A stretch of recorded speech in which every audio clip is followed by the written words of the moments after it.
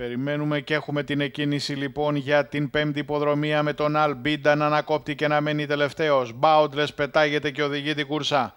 Boundless Disputant στη συνέχεια ο Jack Ruby τώρα βελτιώνεται και ο Αλμπίντα που έφυγε καθυστερημένα. Μένει ο Σαουάζδη προτελευταίος και στη τελευταία θέση ο Atlas. Οδηγεί το νούμερο 1 Boundless ακολουθούμενος από την Disputant και εξωτερικά μόνιμα. Ο Αλμπίντα προσπαθώντας να βελτιωθεί εσωτερικά έρχεται και ο Jack Ruby. Κάπως έτσι οι τέσσερις έχουν ξεχωρίσει από το Σαουάζδη την ώρα που επιτίθενται στη τελευταία στροφή. Πρώτα η Disputant έρχεται ο Jack Ruby από μέσα και Αλμπίντα απ' έξω ξεχωρίζουν καθώς υποχωρεί ο Boundless. Προς το τέλος θα γίνει μάχη καθώς Disputant αλλά και Αλμπίντα που κάνει τελική επίθεση και από μέσα μετά ο Jack Ruby.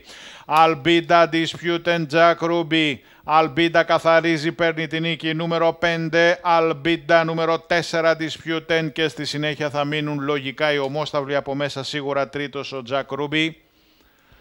Και, μάλλον ο Μπάουτλες τέταρτος, μάλλον. πιθανότατα μπροστά από Σαουάζδη. Τώρα είναι σε φωτοφίνης, θα το δούμε. 5, 4, 3, τα φαβορεί δηλαδή. Και μάλλον ένα μπροστά από δύο. Λέμε μάλλον γιατί έπεσαν πάρα πολύ κοντά. Παρότι ατύχησε στην εκκίνηση ο Αλμπίντα θα είναι πολύ δυνατός